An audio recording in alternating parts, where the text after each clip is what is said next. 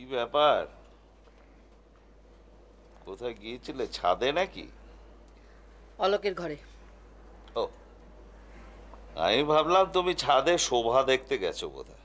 হ্যাঁ আমি তো চারিদিকে শোভা দেখেই বেড়াচ্ছি। এমন কথা বলে না আবার ব্রহ্মতালু অব্দি চলে যায়। ও। হাতটা সরা এত রেগে যাচ্ছ কেন বলো তো? এত রাগের কি হলো? অলোককে বলে এলাম ছোট বৌমাকে সকালবেলার জন্য একটু চেক করে দেয়। হ্যাঁ? ছোট বৌমার কি হয়েছে? আমার কিছু বলনি তো? আরে জানলে তবে তো তোমাকে বলব আমি।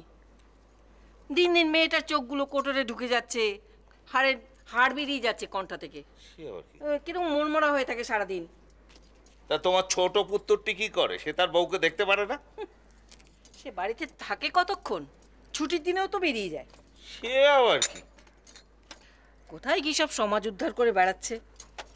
সেদিন বলছিল এই নাচ গান করে পয়সা তুলে গরিবদের নাকি সাহায্য করে।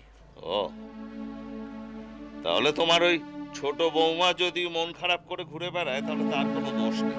সে তো সাধু সন্ন্যাসী না। সেটাই তো হয়েছে সব থেকে মুশকিল।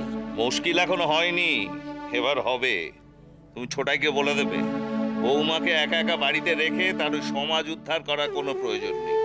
আমিও তো সে কথাই বলি। ছেলে মানুষ বউটার মুখের দিকে তাকালে সত্যি বড্ড মায়া হয়। স্বভাবটা তো শান্তশিষ্ট, কাউকে কিছুই বলে না। আমার মনে হয় ছোটায়ের ওপর অভিমান করে নিজের শরীরটাকে কষ্ট কি যে করি না না। দেখো ছোটাই যদি এইসব সমাজের কাজ টাজ করে খুশি হয় তো হোক। কিন্তু বউয়ের মতটা নিয়ে নিতে হবে। তাকে অগ্রাহ্য করে কিচ্ছু করা চলবে তোমারই তো ছেলে। যেটা মাথায় চাপবে সেটা শেষ না করে ছাড়বে না। তাতে বাড়িতে যা হয় হোক। হুম। জানো আমার মা বলতেন যে পুরুষ মানুষ নিজের বাড়ির মেয়েদের মুখে হাসি ফোটাতে পারে না তার প্রতি ভাগ্যদেবীও বিরূপ হয়ে যায়। তোমাকে আমি আগে বলেছি বলিনি? ভেবে দেখো তো কত বড় কথা উনি বলেছিলেন। সত্যি উনি বেঁচে থাকতে আমি কত কি শিখেছিলাম ওনার কাছ থেকে। না না। তুমি জানো ছোটাইকে পরিষ্কার করে বলে দিও।